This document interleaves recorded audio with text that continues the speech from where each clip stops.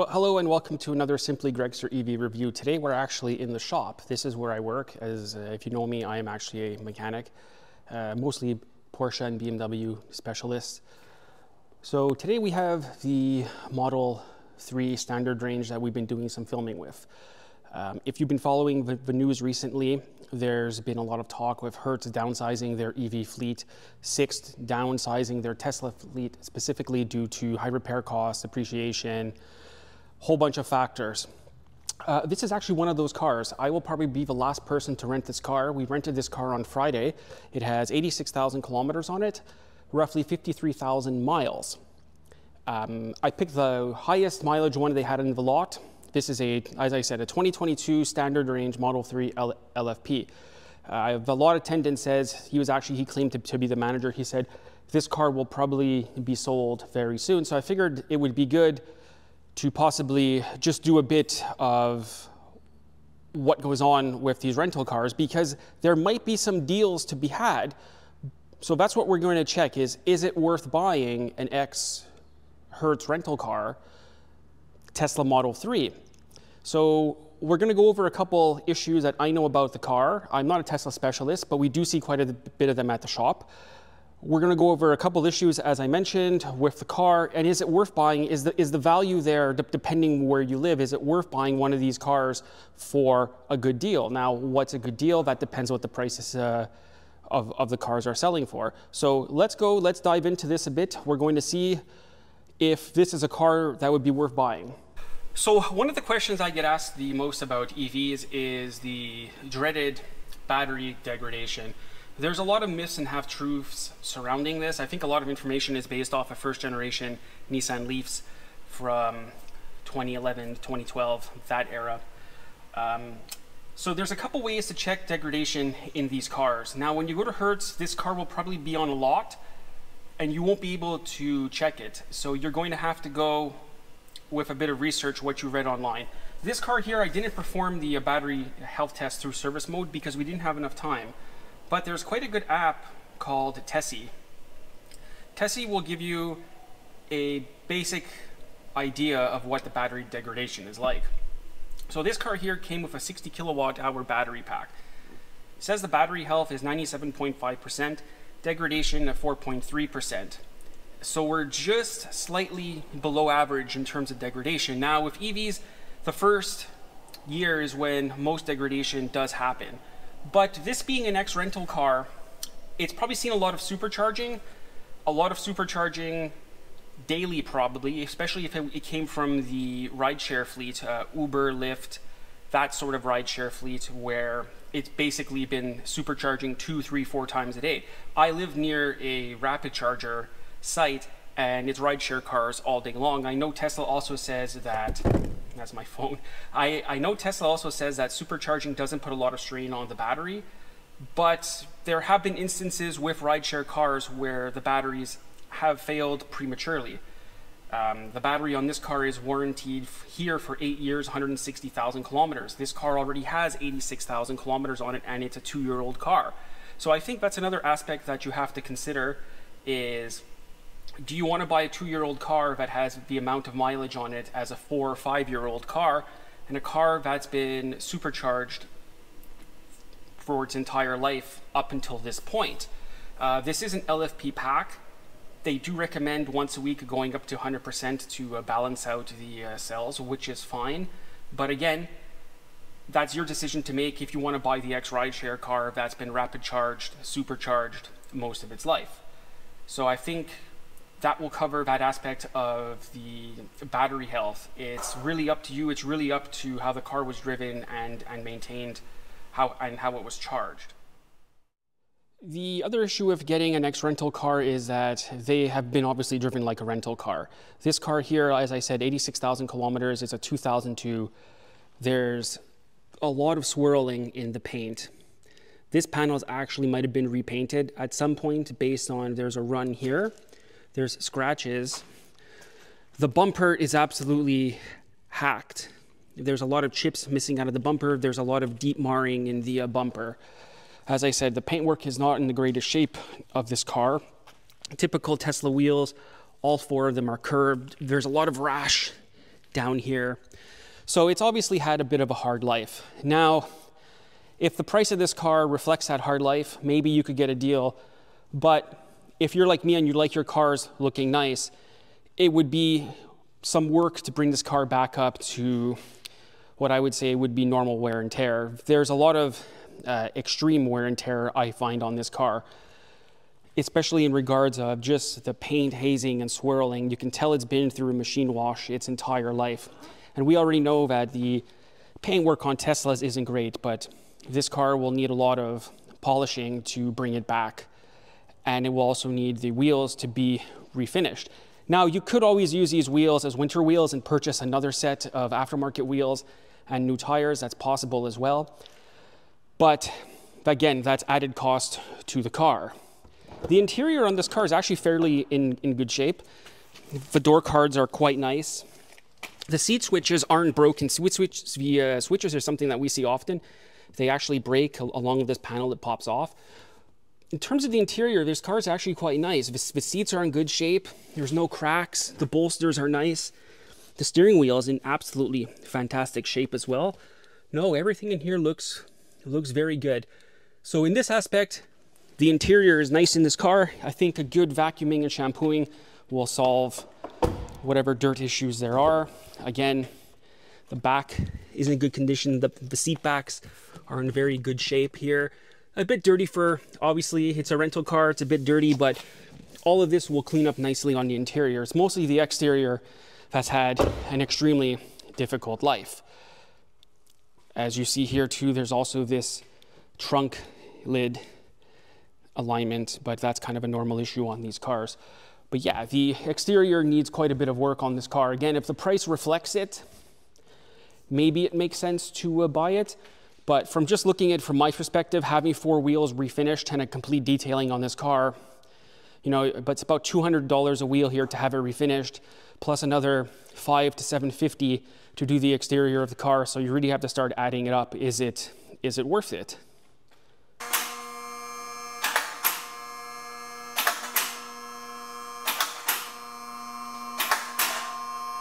We've put the car up onto our four-post lift. We're, we're going to have a, a um, look underneath, what the car looks like underneath. Uh, as has been through the rental fleet, it has higher mileage on it for such a recent car. We're going to have a quick look underneath. There is a knocking sound on this car already. We all know Model 3s, Model Y, they eat through control arms. Uh, this car no longer has a warranty on it from Tesla as well, so those items won't be replaced under warranty. Hertz may replace them if they do any sort of reconditioning. I'm not sure what their level of reconditioning is. However, having dealt with fleets before in the past, the reconditioning is going to be probably very minimal. They might do a light buffing on this car, a quick mechanical inspection, and then put it on the lot to sell. Um, they do have, when you buy a car, an next rental car, they will include, I, I believe it's 12,000 miles or 16,000 kilometers one year warranty. There are third, war, uh, third party warranty companies that are now offering warranties on these cars for things like the battery packs, the control arms, the, um, the HVAC system, that sort of thing. Uh, I don't recommend really any of them. Uh, they're all a bit different in their own regard, so that's something that you'll have to do if you do buy one of these cars and you do want a third-party warranty. A lot of them make you go through one of their brokers to buy it as well. So yeah, let's have a look underneath, see, see what it looks like see if we could find that uh, knocking sound. I'm pretty sure it's going to be a, a control arm or, or, or, a sway bar link, so we won't get into too, too much. I'm not buying this car. I'm just giving it a, uh, quick once over for you guys to know what you're going to be buying or possibly be buying if you do go that route of the X rental car Model 3. So here we are underneath the car now. We're starting at the front right. I don't see any oil leaking down on that shock. They have a tendency to leak oil from the front shocks on these cars, the front struts, something we change pretty often. These brake pads are about 30-40% of life left in them. If this was a um, PPI for a customer, I'd have this on the two-post lift and take off the wheels and check things properly. But for the purpose of this video, just to give you an idea of what the car looks like underneath. Everything looks good over here. No missing chunks of under tray. All the under trays are still attached. No damage dents in the battery pack. There's been a lot of that in news recently on the EGMP platforms. The cases are getting dented and scrapping the batteries. Again, the back, this is just quick visual to make sure everything is still here. No, everything looks good here. The back tires have pretty good tread on them. Yeah, everything seems all right under here. We're gonna go under the lift. The back discs look good. Sometimes you see these and they're completely rusted. There's a lot of rash on the bottom of the rocker panels on this car. As I said, I'm not too sure what level of uh, reconditioning they do when they sell them, but I'm pretty sure it's going to be minimal and make sure that the wheels don't fall off. These front brake discs have a lot of rust on them as well, so those could be cleaned off easily in the brake burnish mode. But no, everything underneath looks fairly good. There's scratches at the bottom of the bumper like usual, and the other side is going to be pretty much the same. So in terms of wear and tear, for a rental car, I'd say we're uh, pretty normal here. I suggest doing if you have access to the key card and there's quite a few cars on the lot, and if you do find one that you like, I suggest going into service mode. You click on software, you press the D, it's going to light up. There you go. And you're just going to type in service. You're going to click enable. We're going to check the service alerts. There's quite a lot of um, service alerts on this car. We have one for louver blockage. That was probably because we were driving in the uh, snow. Again, another louver blockage, uh, sharp current rise, high resistance, washer fluid low. That's not the end of the world. It says this one here, low voltage supply. Um, that could be an issue with a low voltage battery. Like I said, I'm not too, too sure with um, how Tesla codes work. This is something that you could look up quickly as you're in the parking lot. Just Google them and you'll be able to find them. But I think it's a good idea to uh, go into a service mode. There is here, and these are just in customer, and you can click all, and it will tell you everything that's ever been logged on the uh, car.